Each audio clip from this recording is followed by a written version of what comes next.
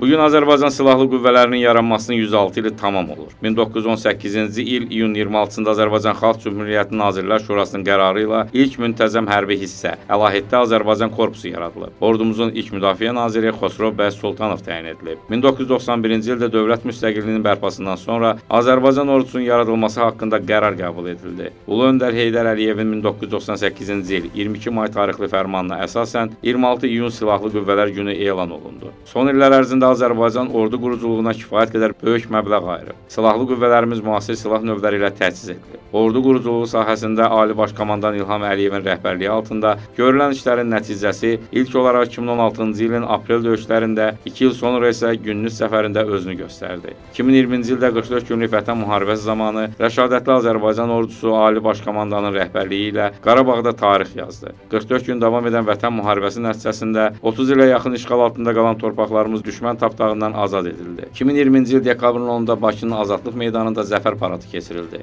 Paradda Azərbaycan prezidenti Ali Baş Komandan İlham Əliyev və qardaş Türkiyənin dövlət başçısı Rəcəb Tayyib Ərdoğan da iştirak etdilər. Paradda 3000 nəfərdən artıq şəxsi heyətin 150-yədək hərbi texnikanın, o cümlədən silahlanmaya yeni qəbul edilmiş müasir hərbi texnikanın, raket və artilleriya qurğularının, hava hücumundan müdafiə sistemlərinin, eləcə də hərbi gəmi və katerlərin nümayişi oldu. Həmçinin Vətən müharibəsi zamanı Azərbaycan ordusunun darmadağın etdiyi düşməndən ələ keçirdiyi hərbi qənimətlərin bir qismi də nümayiş etdirildi. 2021-ci ilin aprelin 12-sində Bakıda Hərbi Qənimətlər Parkının açılışı oldu. Bu gün də Vətən müharibəsində ordumuzun ələ keçirdiyi düşmənə məxsus hərbi qənimətlər bu parkda nümayiş etdirilir. 2023-cü il sentyabrın 19-da Azərbaycan üç tərəfli bəyanatın müddəalarının təmin olunması, konstitusiya quruluşunun bərpa edilməsi məqsədi ilə bölgədə antiterror əməliyyatına başladı. Bir gündən az davam edən antiterror əməliyyatı nəticəsində bölgədə qalan Ermənistan silahlı qüvvələri tam tərk silah edilərək Azərbaycan ərazisindən çıxarıldı. Qondarma rejimin qalıqları isə onun ləğv olunduğunu elan etdi. Azərbaycan öz ərazisində separatçılığa, boz zonaya son qoydu. Bununla da Azərbaycan Respublikasının dövlət suverenliyi tam bərpa edildi. Hazırda Azərbaycan bayrağı Şuşada, Füzulidə,